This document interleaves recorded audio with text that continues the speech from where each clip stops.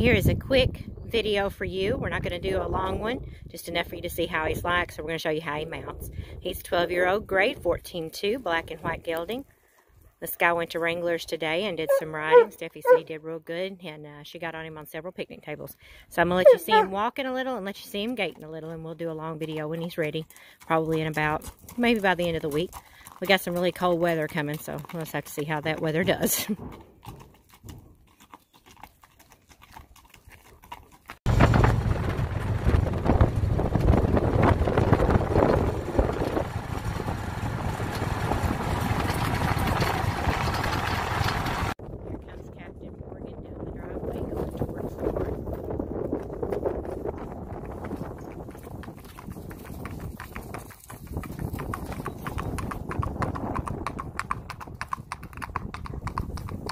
also going towards a truck and a trailer.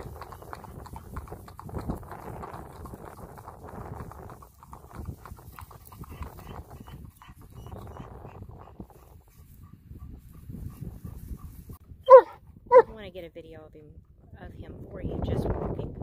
Some people say that it matters how how fast they walk and also how comfortable that they walk, but sometimes that hurts their back. So I just wanted you to see him also walking walking towards the barn. No fuss. Um, he had to watch one the horses yelling at him. He's social.